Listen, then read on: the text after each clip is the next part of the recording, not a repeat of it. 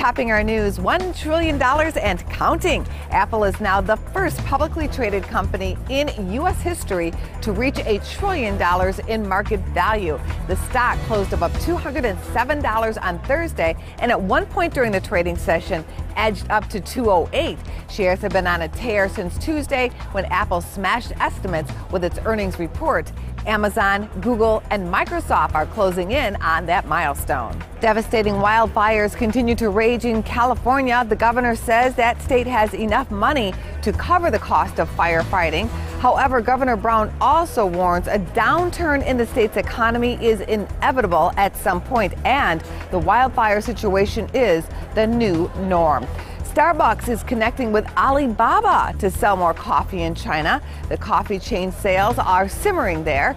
Starbucks is running a test using Alibaba's on demand delivery service to reach more customers.